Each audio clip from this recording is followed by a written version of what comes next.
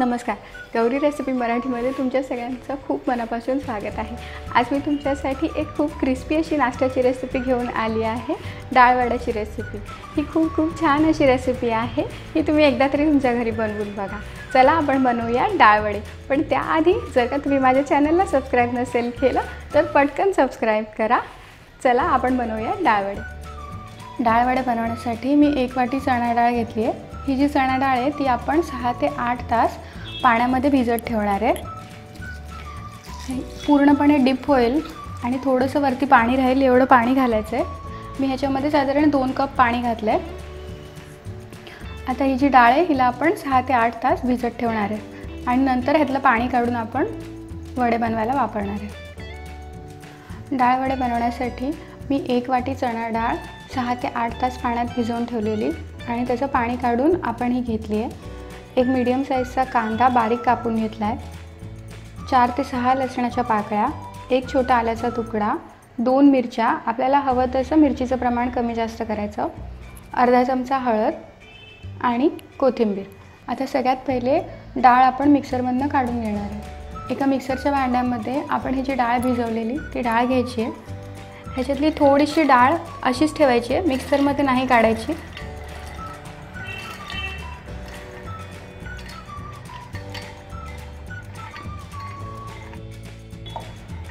साधारण एवढी जी डाळ आहे ती आपण मिक्सरमधनं नाही काढणार आहे आपण वड्यामध्ये ती अशीच घालणार आहे. आता ह्याच्यामध्ये लसूण आलं मिरची हळद आणि चवीप्रमाणे मीठ. आता आपण हे सगळं मिक्सरमधनं काढून घेणार आहे. ह्याला मिक्सरमधनं काढताना पाण्याचा वापर अजिबात नाही करायचा आहे.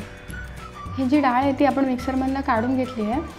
ह्याला मिक्सरमधनं काढताना मी पाण्याचा वापर अजिबात नाही केला आहे आता आपण ह्याच्यामध्ये भिजवलेली ही डाळ आपण अशीच ठेवली होती ती डाळ घालणार आहे.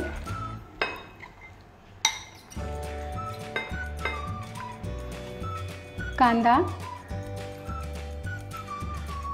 कोथिंबीर. आता आपण ह्याला प्रॉपर मिक्स करून घेणार आहे. आपलं हे जे वड्याचं बॅटर आहे ते रेडी आहे. आता आपण ह्याचे वडे बनवून घेणार आहे.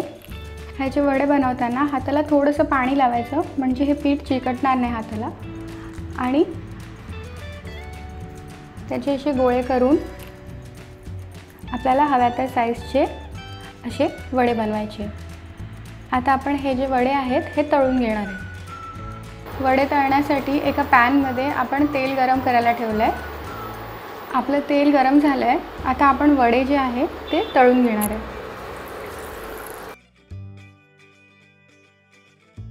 हे जे वडे आहेत ह्याला गोल्डन ब्राऊन होईपर्यंत आपण तळून घेणार आहे. हे वडे तळताना ह्याला मध्ये मध्ये स्टर करायचं.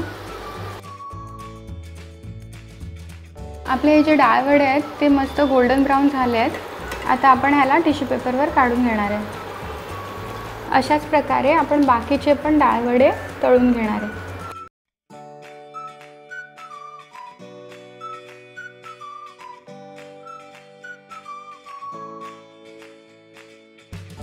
आपले हे खूप खूप टेस्टी क्रिस्पी असे डाळवडे रेडी आहेत. हे तुम्ही मुलांना टिफिनमध्ये पण देऊ शकता. ही एक खूप छान रेसिपी आहे. ही तुम्ही तुमच्या घरी एकदा तरी बनवून बघा. आणि माझ्या चॅनलला सबस्क्राईब करायला विसरू नका. सबस्क्राईब करण्यासाठी आपल्या व्हिडिओच्या खाली सबस्क्रिप्शनची लिंक आहे. त्याला क्लिक करा. बेल आयकॉनवर क्लिक करा. माझ्या व्हिडिओजला लाईक करा शेअर करा आणि कमेंट करा. आपण पुन्हा एकदा भेटूया अशीच एक छान रेसिपी घेऊन. तोपर्यंत पाहत राहा Gauri recipe Marathi. Thank you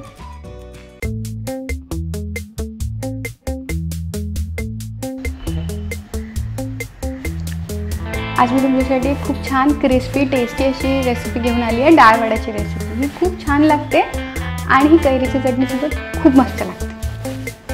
okay असं बोलते हां?